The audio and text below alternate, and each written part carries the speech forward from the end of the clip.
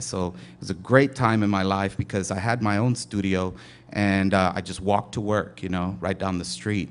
And uh, these, these drawings, these first series of drawings came about during that time at the Guadalupe Annex. And uh, I was really fortunate to get that grant in that studio because uh, I first I, I, sold a couple of my first drawings in that place, you know. I met my first art collector. I met um, um, Kathy Vargas and, and uh, mm-hmm. Miguel Cortinas at that mm-hmm. time. Mm-hmm. And uh, so I was already kind of introduced to the, uh, the uh, arts uh, administration and arts organizations here. And tell us, why, you're already working in a kind of psychedelic style. Why was that? Why did you sort of just start right out with really intense color neon and agitated colors, line? Definitely. I, I bought a whole set of neon gouache uh, and neon color pencils, the Prismacolor neons, and, and neon acrylic, you know. So I just love that warm color, you know. And with my technique, it was easier to uh, uh, work in layers, you know, and let that neon kind of show through. Almost like a black light painting that I, I, mm -hmm. I remember kind of growing up with, you know, all these rock and roll posters and black light. So you were uh, really into the rock and roll culture and that more Definitely. or less affected yeah, yeah. your aesthetic and, sensibility. And, and uh, working with different materials, I think that's what happened. I was really experimenting with a lot more uh, like I said, uh, gouaches and neon-based paints and mm -hmm. stuff, you know. So it's very experimental time for me. Uh, this is 1994, uh, uh, Por tu culpa. It's uh, mixed media on paper, 30 by 40 inches. And here tell, I am tell again. Us about the subject. Doing, doing a lot of research at bars, you know. um, and and there's there I, I, was looking back and I was like, man, most of my early work are just bar art, you know, as bar paintings. But uh, these were fun times, you know. I, I used to hang out with Miguel uh, Cortinas. We'd go to the Esquire. This is actually drawn, uh, uh sketched out at the Esquire, and uh, it's based on a story that I. I, I uh, happened across on Thursday night. Were uh, people actually posing for you, or were you no, just sort of? this was real life. They were, yeah. they were, they, they didn't need to pose. They, they I mean, they didn't very know you were dramatic drawing on their own. They didn't know. know you were drawing them. They did not know. No, okay. uh, no. You know, so it's like uh, taking a candid photograph, but you're doing it with this with yeah, your sketchbook. Yeah. So I think I think I, I just had fun with these drawings. It was very uh, caricature-like, very uh, whimsical. I. I uh, a lot of my early work was, was that way. Were you familiar with any of the artists such as Peter Saul at that point, or did you develop this independent of that? Actually, I, I, um, I was not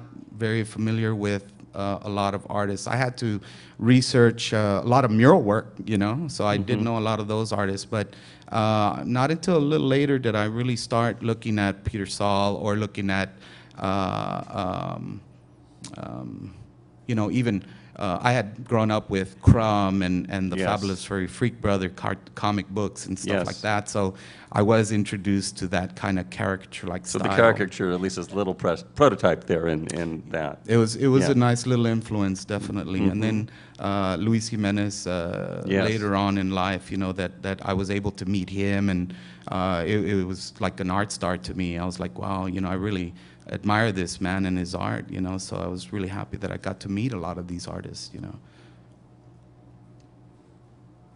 Tell us about these two works. I think they're a couple years apart, but very similar. They're, uh, they're uh, serigraphs on paper. They're silk screens. Uh, this is 1994 uh, through 1997. I was and, doing and a where, series where, of serigraphs. Yeah, where, where, where, did you get into printmaking? How did you start doing prints? I was invited uh, by Sam Coronado in Austin, and he's still there. He does a project called Serie Project, and mm -hmm. he invites artists from across Texas and all over actually, nationally and regionally, but mostly regionally. And and uh, he uh, uh, kind of walked me through. He trained me on you know working in that uh, uh, silkscreen media, which I found fascinating, and it was very easy. Back then, we were doing it really old school. Was actually inking in every color on a piece of mylar, you know, and I spent a residency there. I actually spent a month there on the first piece, uh, El Spider, and um, uh, learned uh, as much who, as I who could. Who is El Spider? El Spider is actually a real person. Yeah. You know, uh, this really good friend of mine uh, in the neighborhood in the Mirasoles, and um, he had a tattoo of a, a spider on his neck, like a spider here, and it went all the way down his arm onto his uh, onto his his uh, forearm, and there was a web right here in the middle of his forearm, and uh, he was a heroin addict, and uh, the Tecatos, we used to call them back then, used to get this this tattoo to cover up their track marks, you know. So, uh, they, but it was really strange. They were very superstitious. They said, "Well, you're caught in that web of this drug. You know, you're a tecato. You know." So his nickname became El Spider. You know, and. Um, he was very superstitious. That's why I depicted him with a broken cigarette. Actually, the cigarette uh, to him one day, uh, he pulled out his last cigarette out of his pack and he goes, "Oh, that's it. You know, I'm going back in. You know, they're gonna bust me." And I'm like, "What are you talking about?" He goes, "It's my last cigarette and it's broken. It's bad luck. It's bad luck." You know. Uh, and it, it's strange how superstitious these guys were. Like when I was in the jail program, none of them would sign the murals. And I'm like, guys, you got to sign these murals. You know, you have to let people know that, you know, uh, you're part of this project. They're like, no way. You don't sign your name in a prison or a jail because that means you're going to come Gonna back, come back. and see it again, you know. So it's very strange superstition. So, you know, I started getting into that, you know, superstition because my mom and my aunt, you know, they always told, I grew up with these really strange stories of, you know, uh, uh, you know, bad luck, el, el mal ojo, or, you know, uh, la lechuza, or, you know, el diablito. And so And who- that's who is El diablito? The second piece Yeah. is El Diablito, and he represents those, you know, bad luck icons, you know, uh, that mala vida, that bad life. He has a, a, a cap on with like buttons of drugs and violence and images of, of uh, uh, all kinds of like these these evil influences that you know they say comes from El Diablito, you know. So this is a, a second silk screen. It's 1997, I believe, and uh, this was also featured in the uh, the psychedelic show Yes, here mhm. at SAMA. I was very very happy with that. It also traveled uh, with Sam's collection to uh, uh, Slovakia, uh, Bratislava, Slovakia. So that went over really well. Both of these pieces went to that gallery just Mm. recently. Okay, drive-by shooting. There's a story that goes. That's a big one. Yeah, That's a big one. A lot of people Uh, probably don't know about this, so No, now's no. your chance to share. Uh, a lot, a lot do because I'm always telling true Really? stories. You Mm, know, yeah. I'm Let's- like, this well, is a true story. This is a true story. It's a true, based on a true story. You know, but uh, um, you know, I love telling this story because it, it's. If things would have worked out differently, I wouldn't be sitting here today. You know, That's right. I, I, uh, um, it's very serious, but uh, I think uh, I, I approached it with um, almost a, a way of trying to deal with the situation of a violent drive-by uh, through my art. You know, uh, in 1987, uh, I was there in the Mirasol courts, and my mom, I told my mom, I'm like, hey, there's this great party at the Vida Mendes. You know, everybody's gonna be there. All my friends are there. I was only uh, about 18. I had actually just turned 18, and my mom goes, um, don't go. Are you kidding? You just saw the lechuza last week. You know, you, you don't want to go to this party. And I'm like, oh, don't worry. You know, I'm gonna be safe, mom. And she's like, oh, okay. Well, take your take your cousin John. And uh, I go, John, let's go. There's this great party. And uh, John was like, no, I'm sleepy, man. I'm, you know, I'm tired. I'm not gonna go. So of course, you know, I, I, I didn't listen to, to my mom's, you know, wisdom at that time.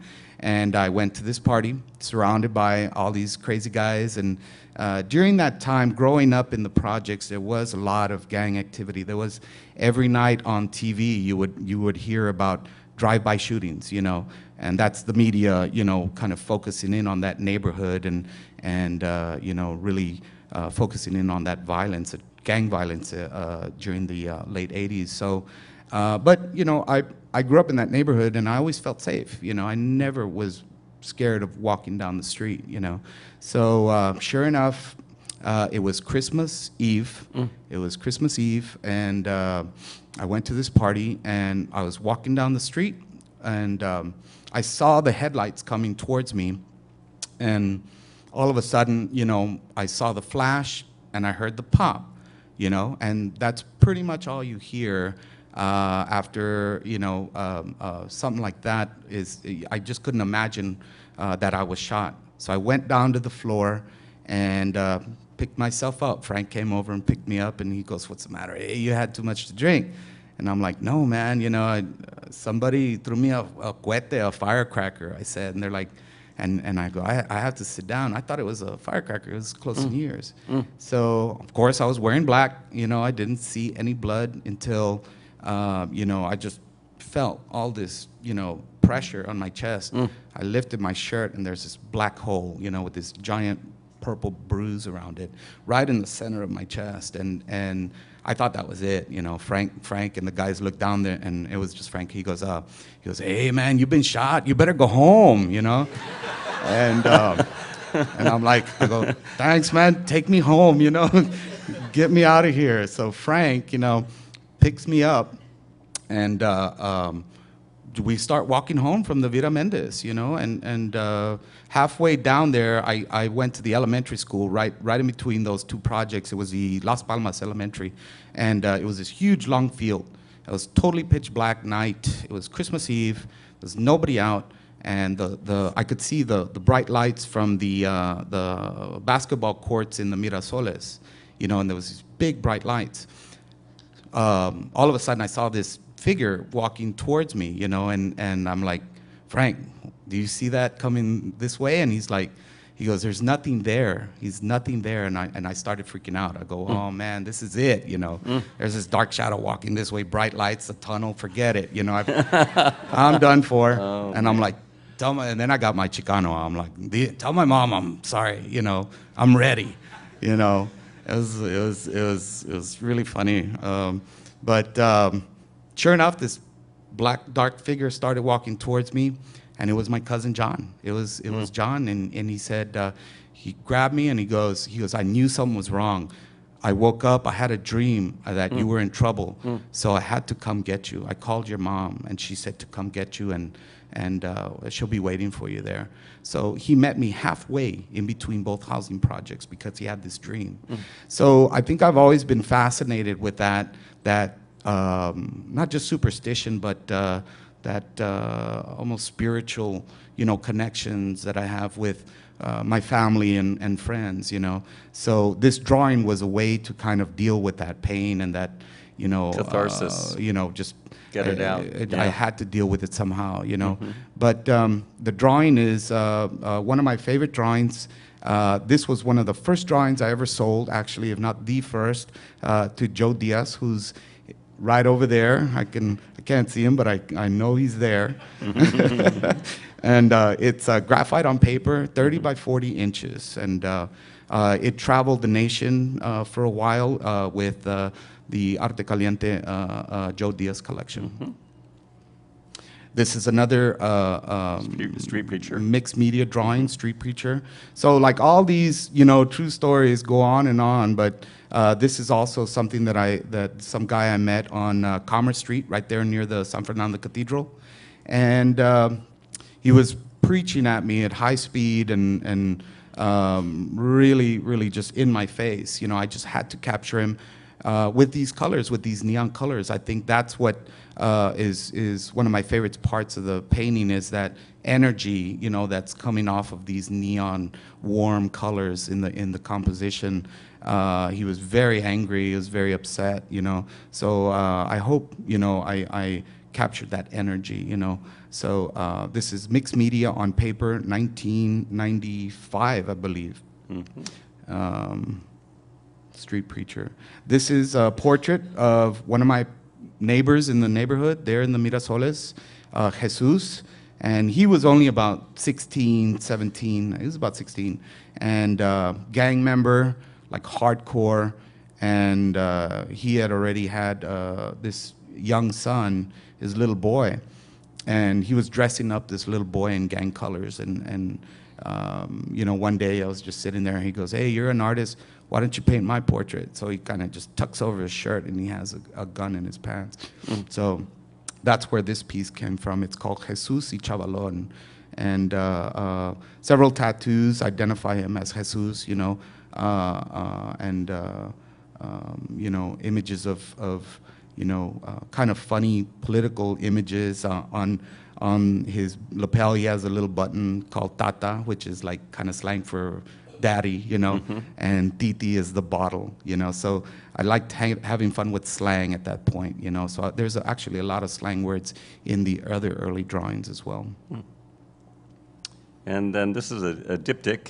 This is a diptych. Uh, uh, Omar uh, uh, Rodriguez owns this uh, set. And this is um, uh, La Bacha and El Gusano, uh, acrylic on panel. Do you want to translate for those who may not know Spanish? La Bacha is cigarette butt. And that's the image on the left. What is that? Your left hand side. And uh, the uh, La Bacha means cigarette butt. And the gusano is the worm inside a tequila bottle. Uh, so at this point, you know, the style is coming, becoming a little bit more refined. Uh, the, the lines are becoming a lot more crisp and, and cleaner edge. Uh, I started working with uh, uh, an acrylic medium, uh, a fluid acrylic medium. So, you know, I think um, over the years I had kind of developed that style quite a bit.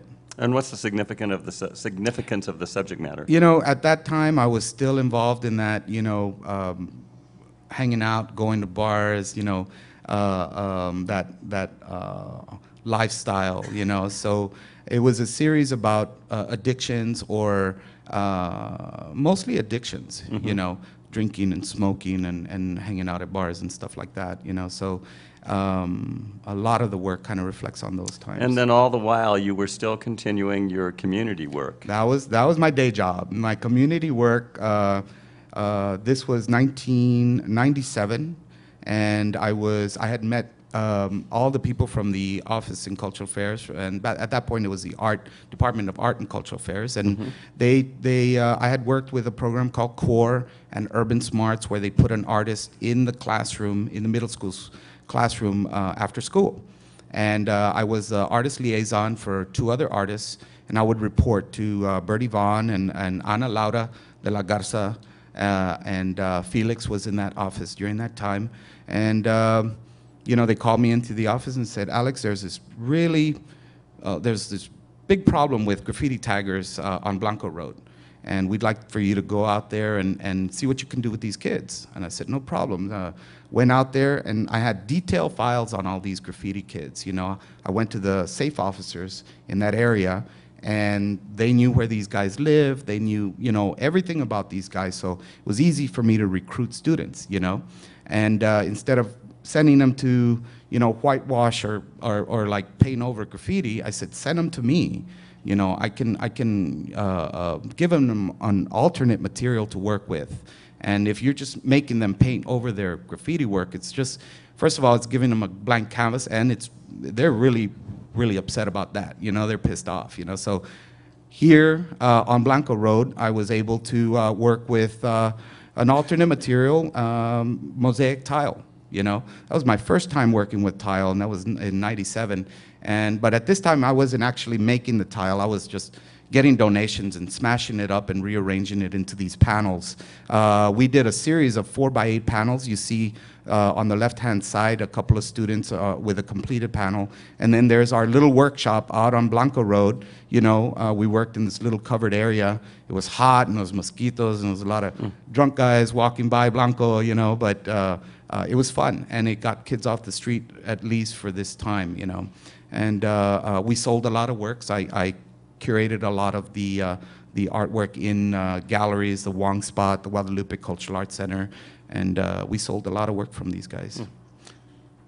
And this is a familiar image, Buddhaland. This was also in the um, the Psychedelic. psychedelic, exhibit here.